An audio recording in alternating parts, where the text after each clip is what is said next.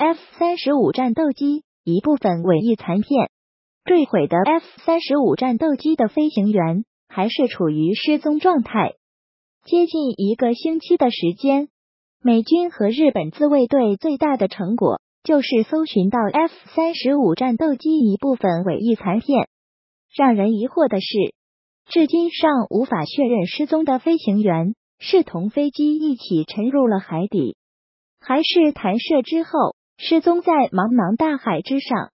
这同洛克希德马丁公司以及美国空军吹嘘的 F 三十五的先进性不太一样。如果这架战斗机一直同日本空中自卫队的空军基地指挥中心保持联络，或是失事的飞机同其他三架同时训练的 F 三十五战斗机保持联络，那么一些最基本的飞行资料将会得到同步。当然，还有一个可能。就是 F 三十五战斗机的故障来的让飞行员猝不及防，根本无法做出任何的操作。就是资料的传输也来不及，就直接坠入大海。日本 F 三十五战机，日本是 F 三十五最大的客户，迄今为止宣称的订单已经达到了一百五十架。目前尚不清楚这次事故是否会影响到尚未交付的订单。洛克希德马丁已经开始驻守，将此次事故的责任推卸给日本三菱重工，因为这款失事的飞机是由三菱重工在日本组装。鉴于飞机残骸已经沉入到一千五百米的海底，短期内很难打捞上来，这对查明事故原因。造成了极大的困难，这也相当于说，在事故原因调查结果出来之前，日本方面很难找出回击洛克希德马丁推卸责任的做法，必须承担这种指责。搜寻工作仍在继续。在坠机事故之后，美日最担心的事情是 F 三十五的残骸处理，一千五百米深地海底。以及琢磨不定的洋流，意味着 F 三十五残骸可能在没有打捞上来之前，都成为一个非常重要的安全因素。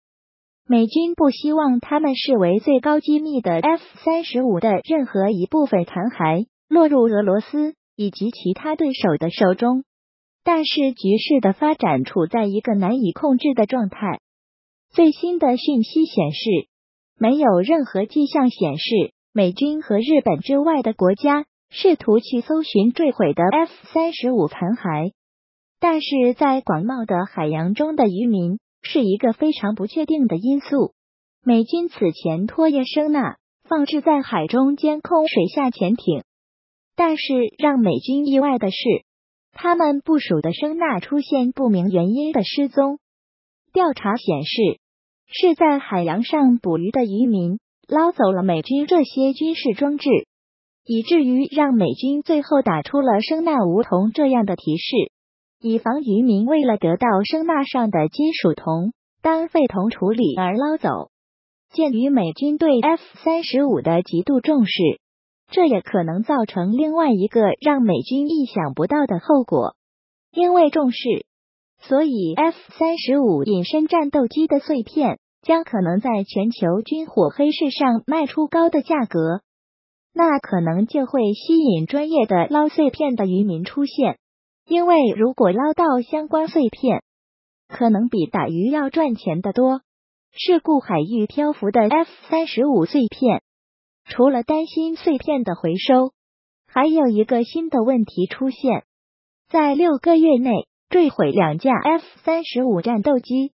这重创了这款战斗机的使用者。在 F 三十五生产越来越多、部署的也越来越多的时候，在前线海域，如果发生 F 三十五再次坠毁的事故，又将面临困难的碎片回收工作。如果频繁坠机，那么全球部署的美军基本上别的事情不要干了。一天到晚的搜寻坠机碎片去了。这次是离日本海岸线一百三十五公里的地方坠毁，相对来说比较幸运。但是在未来，F 三十五每次坠毁都只会在日本的近海吗？在这样坠毁地点没有选择余地的压力之下，这个新问题可能会影响 F 三十五的部署和训练，尽可能距离对手远一点，进而影响到美军及其盟友的战略战术布局。再言，